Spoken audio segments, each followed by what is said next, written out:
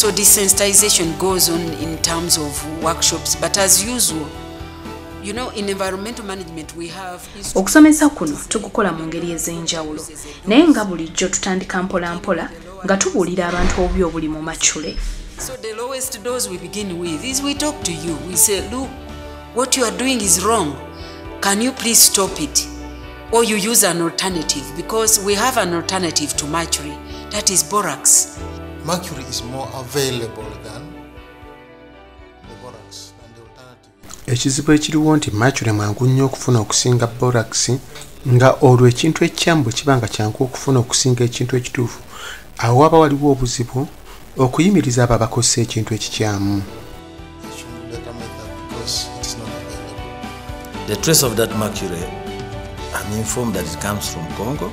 Batugamba nti macule ono okuyingizibwa mu ggwanga ayita mu ggwanga lya congo rwanda ne burundi You know, if you if you look through this border, it's all all plain. ku nsalo eno kyangu nnyo omuntu okutamba n'atuuka ebusukka nsalo mu ggwanga eddala era nga yengeri y'emu macule gy'ayinza okuyingizibwa mu ggwanga It actually can go through those porous points.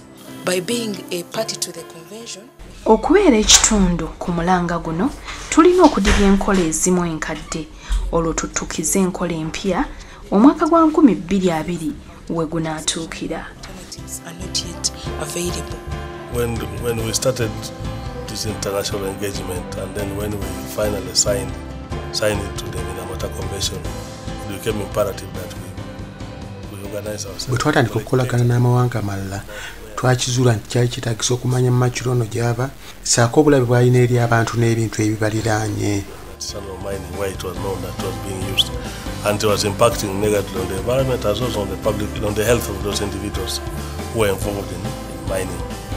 The major, major global concern that was first seen was obuzibu obwasooka okulabika bwali mu ggwanga erya japan. Abantu bwe bafuna ekirwadde ekyaminamata nga kiva ku butwa obwavanga mu kkolero eryakolanga ebijumusa people in the surrounding areas were eating fish abantu abaali baliraanyeewo baalyanga ebyennyanja okuva mu minamatabbe ekyabaleetera okulwala era nga naffe abakugu kikyatubobbya omutwe attacked the central nervous system. Yeah, eventually it killed a lot of people. We really started taking concern twatandika okwekengera mu macule ono bwe twakisanga nti ebimu ku byennyanja byali bimaze okuyingiramu ekirungo kya macule ono era bwe twatandikira okukola enteekateeka okulaba nti ekizibu kino kikolebwako most of the negative impacts arise from misuse of mercury. The issues of uh, waste management, we can educate people abantu basaanye okusomesebwa engeri gye basaasaanyaamu ebintu ebiva mu bintu bye bakola era nga tukolera wamu n'ebibiina ebyobannakyewa nga tusaanye okulaba nti obutonde bw'ensi tibutyoboolwa The issues that are around them, issues of waste, issues of water management, issues of uh, health, issues of management of resources like, for example, uh, how do you manage riverbanks? How do you manage wetlands? How do you manage uh,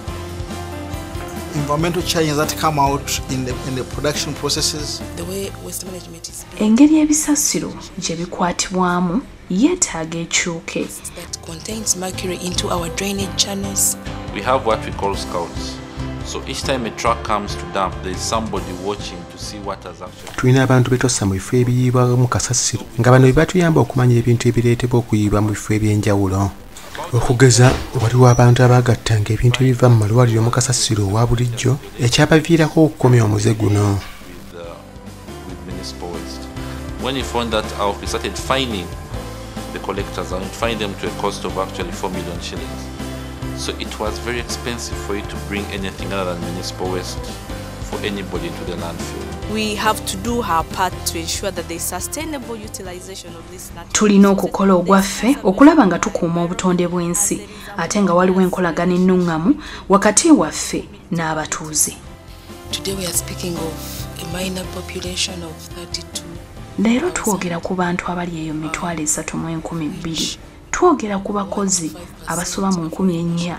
Nga tetutalizza bakyala n'abaana abakola emirimu gy'ekikulu yadde ng'emyaka gyabwe tegikkirizibwa kukola We include women and children. For example, women account for about 25 to 45 percent.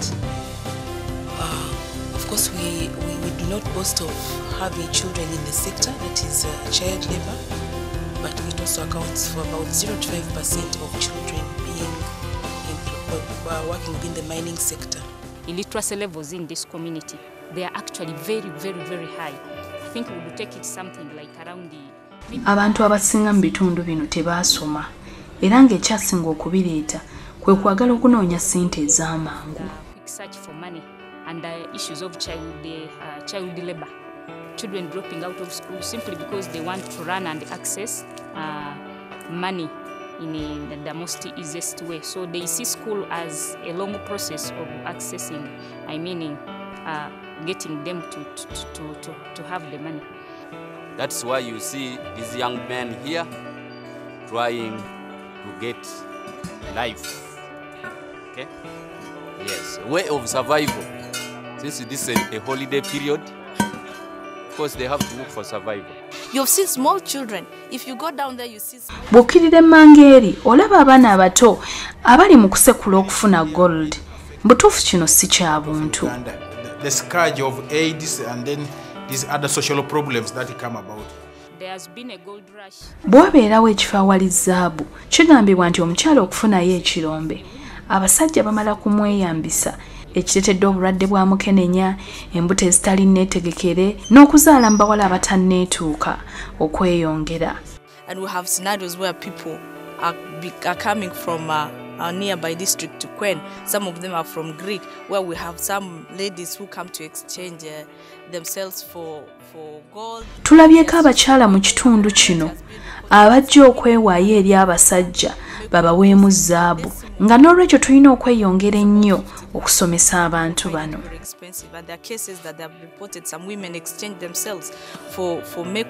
So we have to sensitize our community on these things.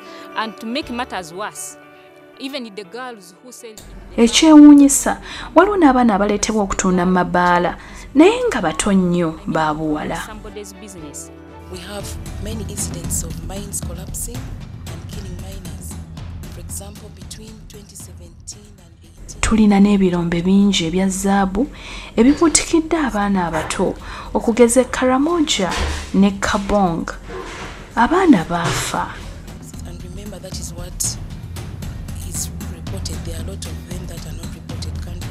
We are now in a stage where we are going to establish uh, standards, which are national, national uh, oriented. Then we, will be able to.